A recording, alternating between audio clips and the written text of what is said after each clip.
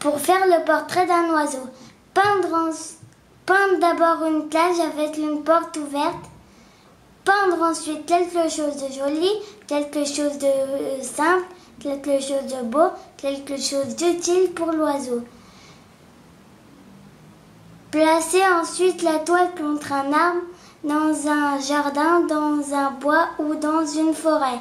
Se cacher derrière l'arbre sans rien dire, sans bouger. Parfois l'oiseau arrive vite, mais il peut aussi bien mettre de longues années avant de se décider. Ne pas se décourager, attendre. Jacques Prévert.